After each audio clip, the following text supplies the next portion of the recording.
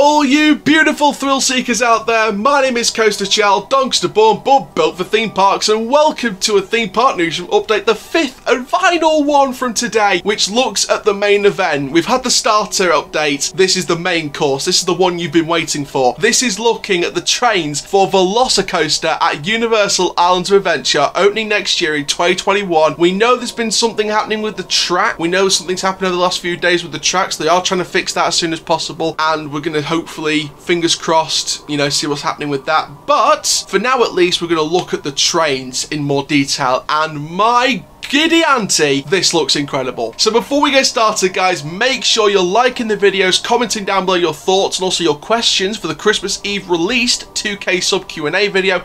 Use the hashtag question before or after your question. Also, guys, look in the description down below where you can follow my Twitter, Snapchat, Instagram, and TikTok. All the links are in there. Also, submit your video ideas. Use the Google's Forms link, also in the description. And also, guys, this is the final video to request for you guys to vote for me in the Clamshell Awards 2020 because, of course, a couple of hours from releasing this video, the vote closes. So please get your votes in. The website link in the description down below for the Clown Clamshell Awards 2020 will tell you how to vote. And please, please do that because it would mean the world to me to round off the year with an award for Coaster Chall. And for now, guys, let's have a look exactly at the Velocicoaster trains at Universal Islands of Adventure. Oh my giddy auntie, look at those beauties. They look incredible. It's like Taron and Helix had a light up LED baby. And this is what came out. Uh, now you can see the, the hexagon type pattern on the seats. Uh, you can see the, the shades of blue and silver on there. The classic Jurassic World branding colours. You can see track above the station. Oh my word, this is going to be wicked. Um, the coaster trains look fantastic and I think that overall this is going to be a wonderful project. Now for those of you who are new to the channel and think, what's Velocicoaster? What is this project? Well, firstly, you might be living under a rock for the last few months, but no offence. And secondly, for those of you who need to know more about this project, this is an Intamin launch roller coaster, a multi-launch roller coaster with a 155 foot tall outside top hat, a 100 foot long zero G stall, a total height of 155 feet, that's the tallest point of the ride, 70 miles per hour max speed, opening in 2021, it's an extreme roller coaster, it's replacing the old Raptor encounter, um, and they sort of moved an another encounter as well, they sort of moved that to a different location, I think it's the Triceratops, uh, and they're sort of building it in and around this area where the old encounter was.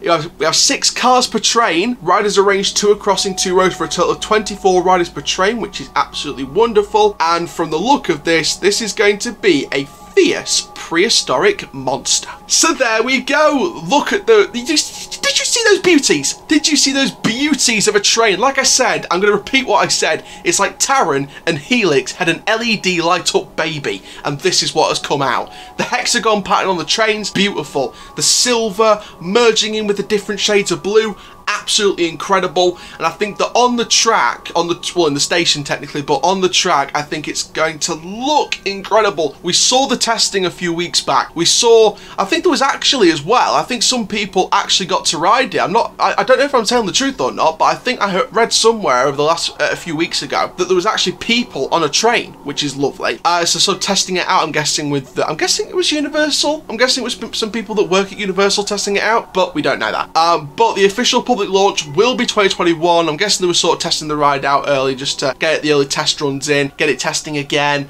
uh, once they've sorted out this problem with the track apparently. Uh, so once they've got all that sorted, they'll test it again, get it ready for 2021. Spring, summer, I don't care. I can't wait to see this open. I've loved this project. Do you guys remember about two years ago when we did the first video on the rumour of a Mac multi-launch coming to of Adventure. Did you see that video? Did you see it? Because I have vivid, I've, I've got very less memories now, like further on, of recording that video. I may actually go and watch that video. You don't like to watch your own content, but I, I might actually go back and watch that video just to see how far this project's come. But we've come a long way with this project. We've come from two years ago about this project, or nearly two years ago. And we started covering this nearly two years ago. And I can't believe how far the project's come. I mean, you know, two years ago or about two years ago, you know, Hagrid was pretty much, you know, on the verge of opening, um, and we had a year off to prepare for Velocicoaster, which was interesting. And you know, this is a brilliant project from Islands of Adventure, and I absolutely adore this project, and I hope you guys adore this project as well, just as much as I do, because this project is going to break ground. This project is going to break the rules of roller coasters at parks like Universal and Disney that are more well known for doing their experienced dark rides and their visual technology walkthrough experiences as attractions. So, to see a beautifully themed, storied, movie based coaster in Universal. Universal's going to do more.